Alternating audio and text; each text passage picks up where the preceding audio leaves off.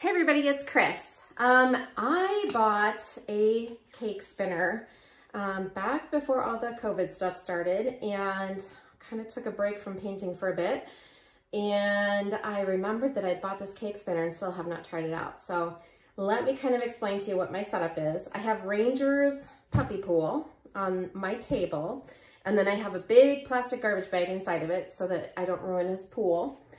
And then I'm going to paint on an 18 inch round today and I am going to use a black pillow. So I've gone ahead and painted the edge of my round with black because I'm worried that with it being a white um, primer that I have on it, it may not look really great on the edges if I don't paint the black. So let me show you how I have it here. I've got, um, this is my cake turner and I purchased it off of Amazon. I'll put a link in the description in case you're interested in purchasing one so that you can find this one easily. Um, this is kind of what everyone has been using that I've watched on YouTube. And then I'm just gonna place this on here. I'm hoping that it will not um, slip off, but I have a feeling it might. So I'm gonna go ahead and put a little bit of tape on here, make sure that this is centered, and then I will be right back. Okay, so I've got it secured to the turntable with just a little bit of shipping tape just so that it doesn't slide around as I start to um, spin it out. Um, I'm not gonna get that crazy with my spinning, so it should hold in place.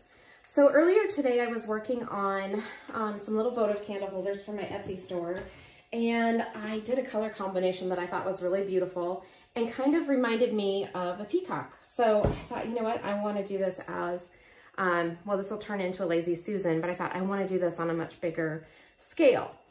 So I do not have um, I do not have any black house paint, so I'm going to use my Artist Loft Flow acrylic.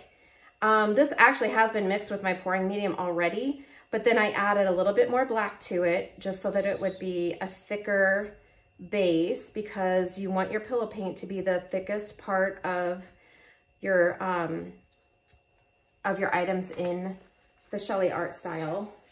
So what we're going to do is we're going to build a bloom and we're going to spin it out. Okay, so I have a little bit of Artist Loft Metallic Cobalt, which is one of my favorite colors.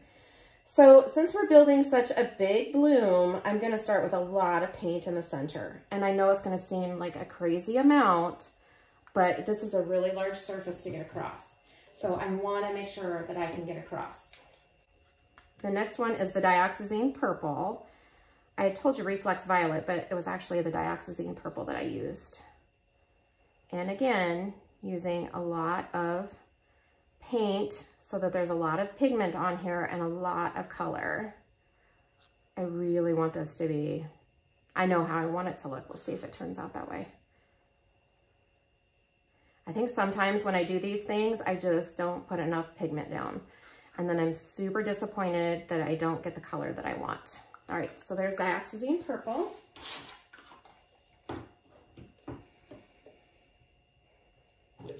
And I'm gonna put a little bit of interference violet in it. This is a golden interference violet. Again, kind of an expensive one, but it's really beautiful and it's worth um, adding it into your project because it'll give it such an amazing um, sheen and really add a lot of interest to it. Okay, I'm going to use some green too, but I don't want that green next to the purple. So let's go ahead and put down the deep violet next.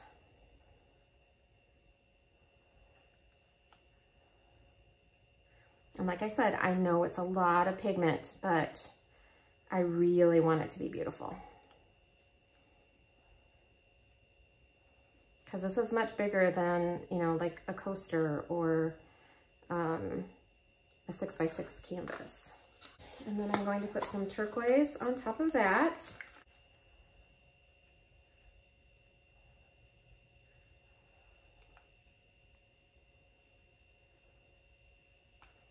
I think this is not quite even because I can see that my paint is kind of coming down here to this one side.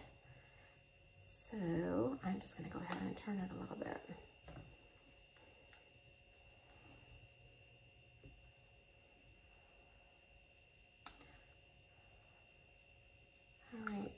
And because this is such a huge, it's gonna be a huge bloom. I don't think I'm gonna try to blow this out um, with my mouth. I think I'm gonna grab my hair dryer and blow it out that way. And then finally is this beautiful yellow green color. Actually, before I do that, I'm gonna put some silver down. So remember, whatever your colors are on the base and on the top are usually the colors that will be more prominent in the bloom. Oh, that one went a little outside the box, didn't it? All right. And finally, we're gonna put down the green.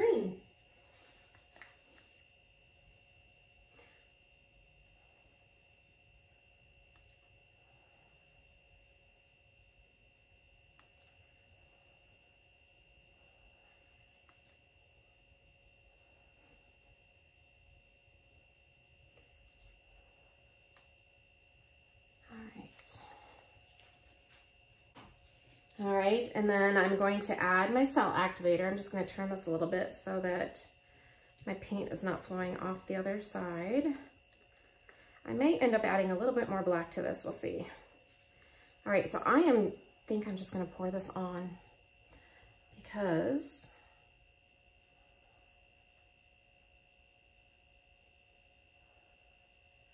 I do want quite a bit so that it flows out over the color. That should do it. This is a big bloom, guys. Fingers crossed.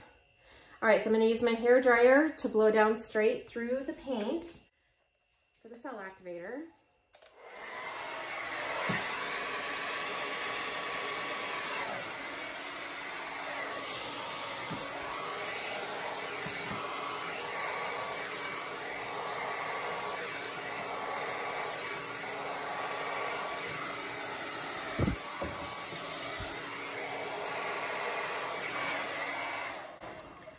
And as always, I scooped right through the darn paint. Always seems to happen to me. Okay, so I am going to pick this up and kind of blow it a little bit with my mouth to kind of get those edges out there and see if I can get this a little bit more even.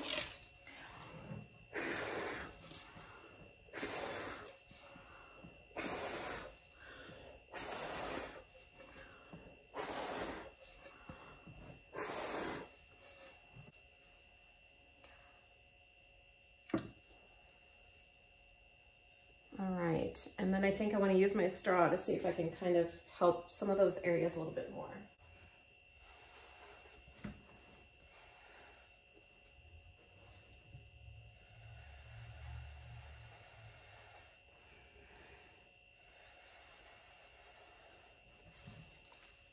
And then I'm just going to kind of tip it so that it's a little bit more centered before I start to spin it out. But I do want to try to make sure that my color is in the center before I start to spin it out.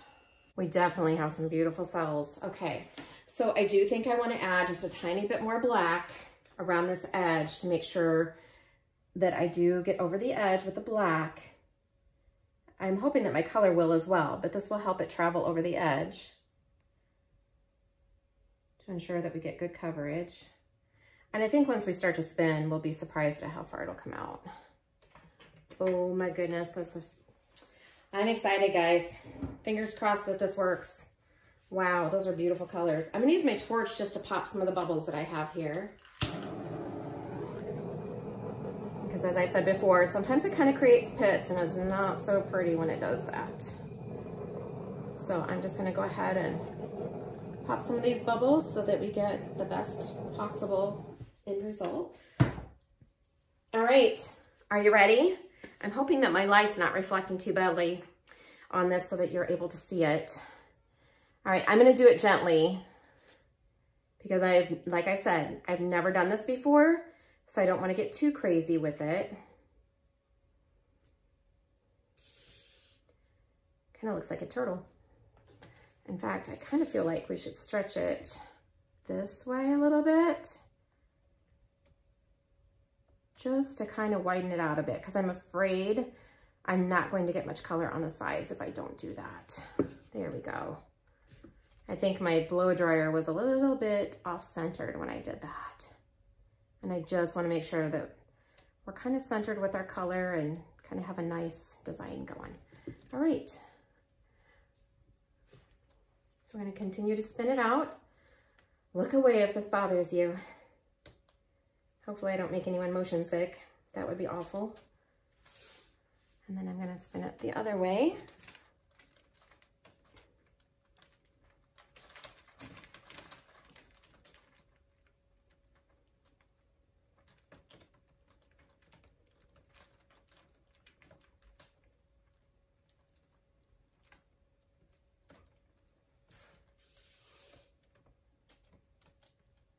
And then I think I want to see if I can move this off the edge a little bit. So we're gonna tilt it a bit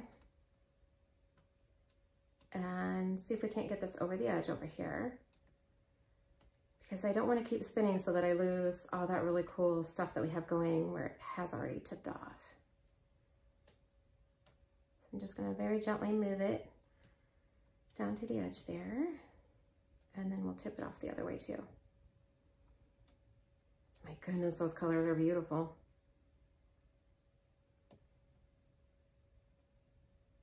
I have to say, I don't know that I've ever put quite that many colors onto something, but that is really pretty.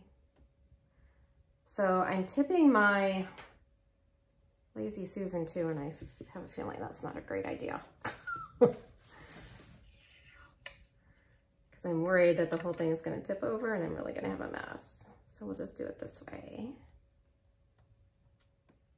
So I'm just slowly tipping it to try to get that color to move down there off of the other edge. I'm getting really close. Okay, so I'm almost off the edge with the black. Do you see that? There we go. So I'm just gonna kind of let that grab a hold.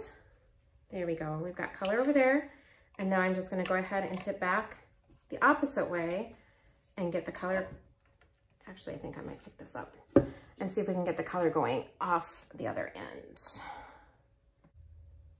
So I'm gonna go ahead and cut away and get this tipped off and then I'll bring you back on to show you the final spin, okay? All right guys, so I've tipped it so that the color is dispersed. Now I just wanna give it a couple of little spins here to finish it out.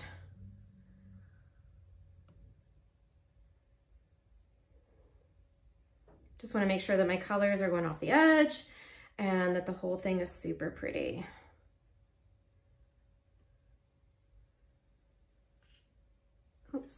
Felt it move on the Lazy Susan.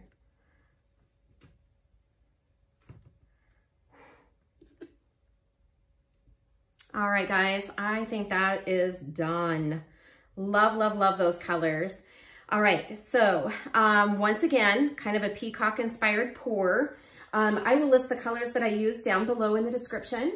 Um, I will also put a link to um, the Sheleeart course in case you'd like to learn more about this particular technique. And as always, if you have any questions, please let me know. Thank you so much for watching me today and I'll catch you next time. Bye-bye.